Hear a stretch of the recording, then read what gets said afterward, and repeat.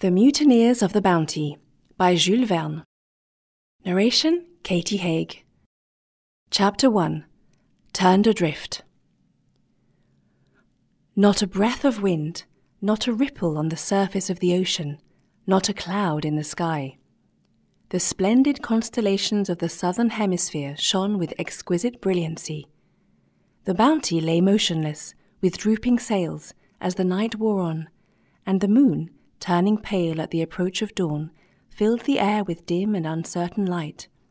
The Bounty, a vessel of 215 tons burden, manned by a crew of 46, had left Spithead on the 23rd of December, 1787, under the command of Captain Bligh, a rough but experienced seaman who had accompanied Captain Cook on his last voyage of discovery. The special object of this voyage of the Bounty was to obtain plants of the breadfruit tree, which grows in profusion in the Tahitian archipelago, and then carry them to the Antilles. After remaining for six months in the Bay of Matavai, Captain Bligh, with a cargo of a thousand breadfruit trees, set sail for the West Indies, stopping at the Friendly Islands for a short time. The suspicious and passionate character of the captain had repeatedly occasioned disagreeable scenes between him and his officers, but when the sun rose on the morning of the 28th of April, 1789, the perfect tranquillity which prevailed on board the Bounty was disturbed by no token of the serious events about to take place. By and by, the apparent tranquillity was broken by unwonted animation among the crew. The seamen met, exchanged two or three words in whispers, and then separated quietly. What could be going on? Above all things, Make no noise, friends, said Fletcher Christian, the second officer of the Bounty. Load your pistol, Bob, but do not fire till I give the word. Churchill, take a hatchet to burst open the lock of the captain's cabin door, and mark me, I must have him alive.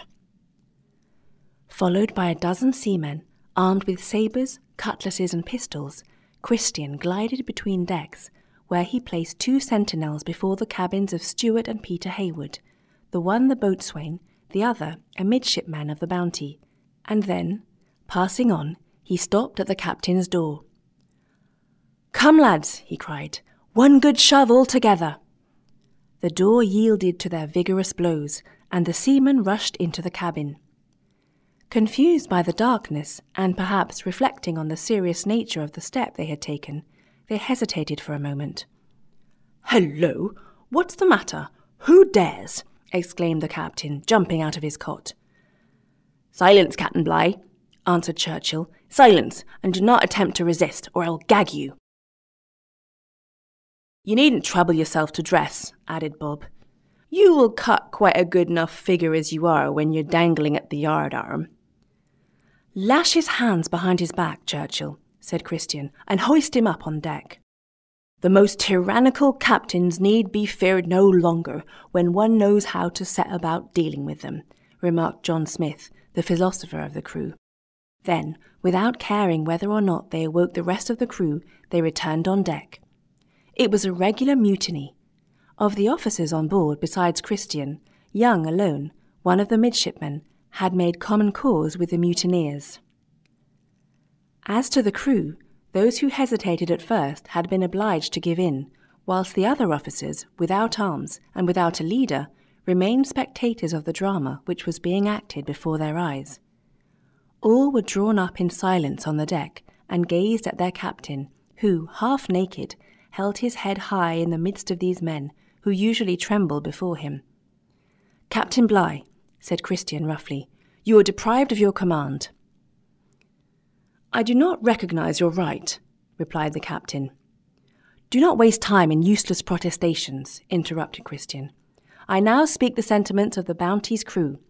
We had scarcely left England when we had already reason to complain of your insulting suspicions, your brutal proceedings. When I say we, I mean the officers as well as the seamen. We not only could not obtain the satisfaction which was our due, but you set aside our complaint with contempt.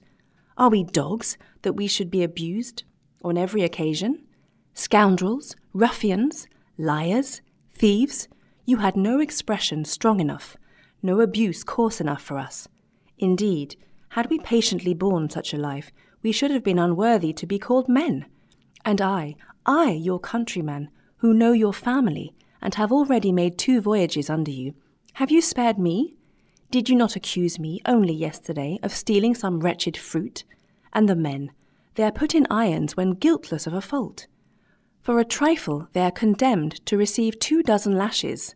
Well, everything is paid for in this world. You have been too liberal with us, Bligh. It is our turn now. You are about to expiate the insults, the injustice, the mad accusations, the moral and physical tortures with which you have overwhelmed your crew during a year and a half, and you shall pay dearly for them. Captain, you have been judged by those whom you have offended, and you are condemned. Is that right, shipmates? Yes, yes, death, death to the tyrant, shouted the greater number of the seamen, threatening their captain.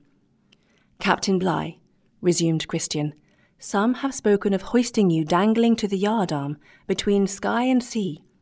Others propose to make your back taste the cat you have so freely bestowed on theirs until you die under the infliction. They lack imagination. I have a better plan than that. Besides, you are not alone guilty in this matter. Those who have always faithfully executed your orders, however cruel they were, would be in despair at having to submit to my command. They deserve to bear you company wherever the wind may drive you. Lower the longboat!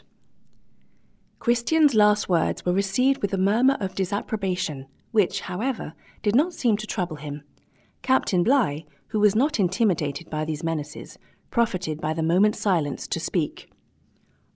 Officers and men, he said in a firm voice, in my character of officer in the Royal Navy, commander of the Bounty, I protest against the treatment with which I am threatened. If you have had reason to complain of the way I have exercised my power, you might have had me tried by a court martial, but, doubtless, you have not reflected on the serious consequences of the act you are about to commit.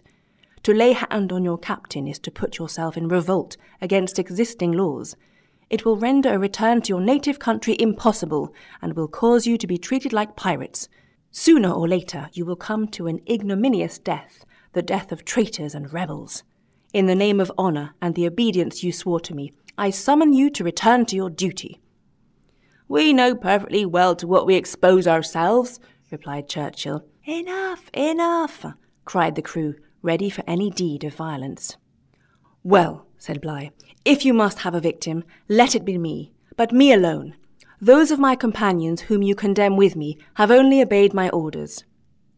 The voice of the captain was now drowned by a chorus of vociferations, and he was obliged to renounce the hope of moving those pitiless hearts.